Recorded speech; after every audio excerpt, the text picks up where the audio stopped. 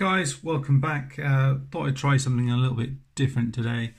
I picked up these guys just before Christmas um, and there was a bit of a deal as you can see going on with them, buy one get one free. So I managed to pick up a few.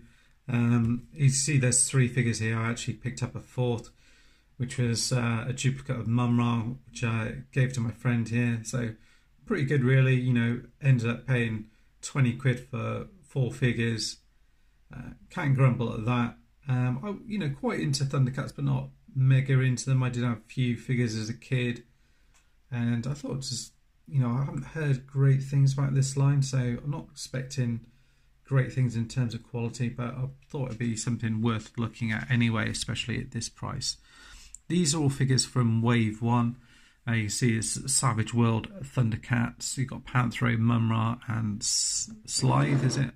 I'm sure how to pronounce him, his name. You can see on the back here, wave one was uh, Lion-O, Panthro, uh, Mumm-Ra, and uh, Slithe.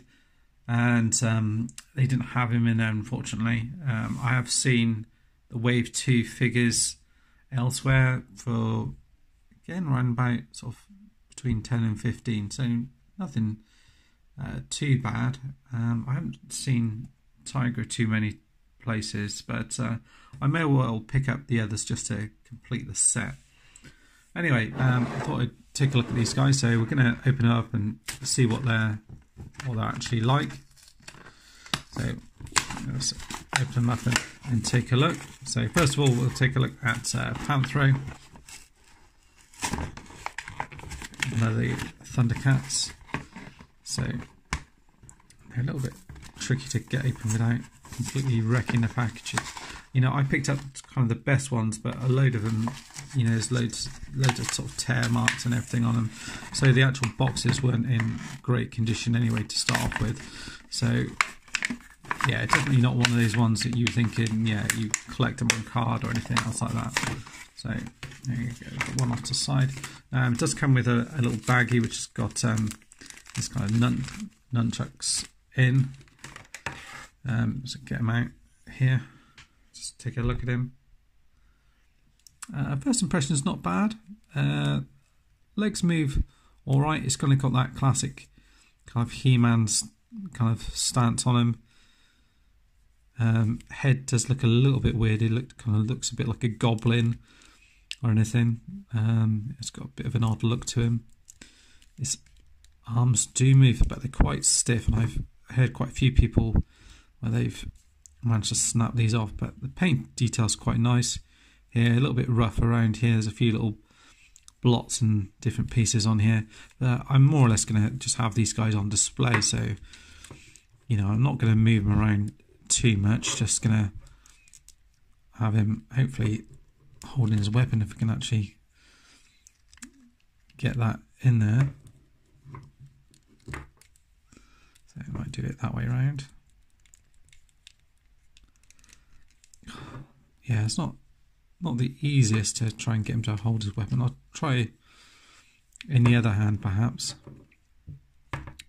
Just don't want to break anything. There we go. Yeah, so you can get him to hold that in his hand.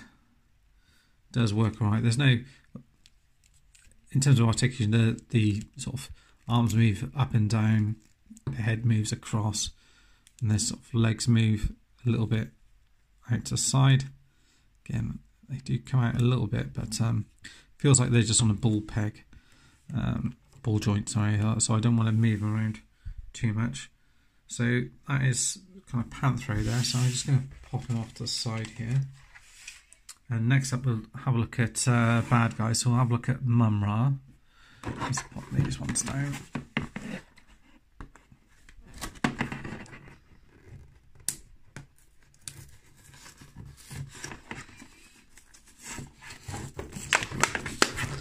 Get them all opened up.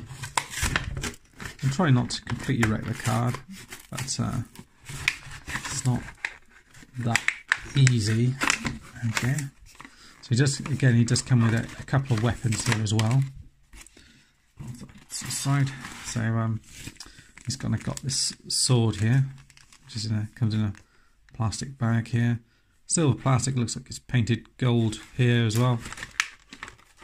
Mumm-Ra actually looks pretty good. Comes with this plastic cape here. Plastic kind of loincloth thing here as well. You can move their legs out. And their head's pretty detailed with all these bits coming off here. So I think that looks pretty good. He's probably, I would say the the sculpt wise the best one out of the out of the bunch I would say. Uh, come on.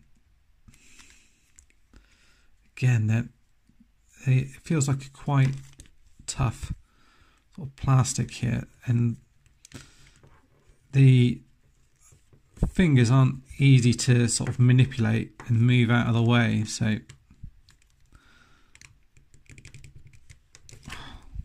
it's quite sort of wrestling with this guy, trying to just get him to hold the sword. I don't know if it's easier to sort of like push it down this way. Again, I heard lots of stories where people have snapped arms off these. So I'm trying to be try not to put too much pressure on it. Uh, see, I've got it in his hand, but he's kind of bent the thumb back a little bit. Yeah. So yeah, you can get the sword in there in the end, but um, the plastic quality on these, on some of it, isn't that great. The, I noticed the paint on the arms isn't that good. Other than that, the chest is done pretty well, and the face and the eyes is all done nicely. There's a little bit of where it's gone over on here and just on the legs here, but not too bad overall, I would say. I'd say he's definitely the sort of pick of the bunch. So worth getting on, on just on his own, really, if you can get hold of Lion-O, and he stands up pretty well as well. Uh, next up, we'll take a look at uh, another baddie.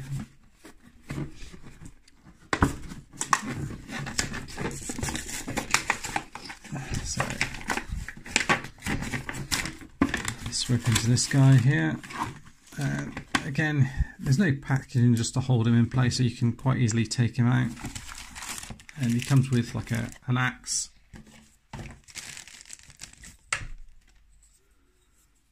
The plastic on this does feel very brittle.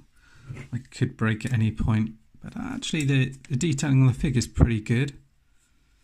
Um, he's got all these kind of weathering spots and pieces here. Again, hands don't feel that flexible in terms of trying to make room for him to hold his weapon.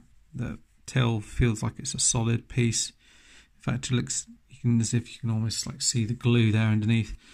Soft plastic for the kind of loincloth area here. There's oh, there is waist articulation in them. I didn't realise that, but it's not like a springy waist or anything else like that. And the head does rotate around slightly like that. So that's quite good that you can get that. I think the head rotates around on on Mumm-Ra as well. Um, and let's see if we can get him to hold his weapon. Might be a little bit easier on this one just because that, yeah, there we go. Plastic's quite tough. And uh, there you go. That is the Savage World Thundercats. Thanks for watching, guys, and I'll see you next time. Bye bye for now.